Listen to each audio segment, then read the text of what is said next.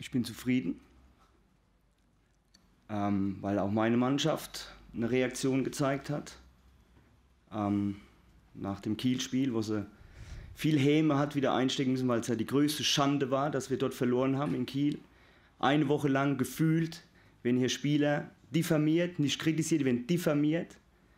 Und dann eine Mannschaft und Spieler, die mit Herzblut für diesen Verein, wirklich mit Herzblut für diesen Verein hier jeden Tag trainieren, jeden Tag sich den Arsch aufreißen. Musst du in Einzelgesprächen immer wieder aufbauen. Hört mir auf mit der Erzählerei, das sind Profis und das ganze Gequatsche. Das sind Profis, ja, das weiß ich. Das sind aber auch Jungs, die eine Seele haben. Was hier ab und an immer wieder auf die Jungs einprasselt, das ist unfassbar. Das ist nicht die Eintracht, die ich kenne. Seit Jahren.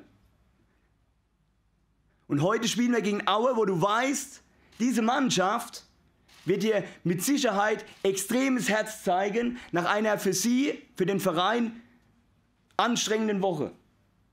Und du weißt, dass es ein schweres Spiel wird. Und musst mit leben, dass seine Jungs bei dem ersten technischen Fehler ausgepfiffen werden, dass Häme über sie, über, äh, Häme über sie ausgeschüttet wird. Und musst mit den Jungs kämpfen und arbeiten in der Kabine aufbauen. In Hendrik Zug, ich frage mich, was der Junge, was der Junge hier verbrochen hat, dass man so über ihn bei jedem Ballkontakt sich lächerlich macht.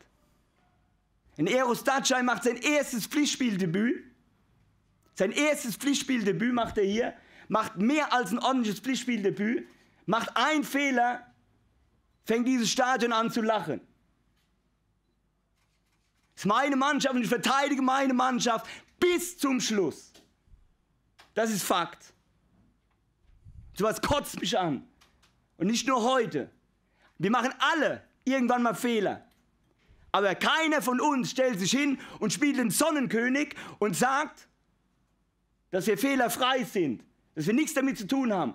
Die Mannschaft ging extrem hart ins Gericht mit sich nach dem Kielspiel.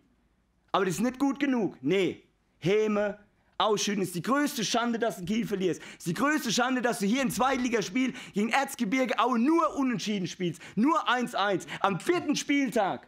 Am dritten Spieltag. Das ist eine Schande.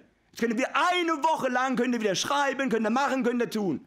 Könnt ihr wieder sagen, oh, lieber ich wieder durchgedreht hier. Nein, das hat was mit Herz zu tun. Das hat was mit zu tun, dass man sich ja jeden Tag, von morgens bis abends, nachts, immer wieder den Arsch aufreißt.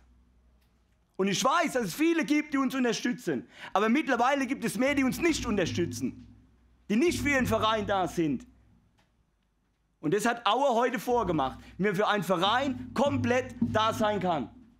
Als Mannschaft und drumrum. Definitiv.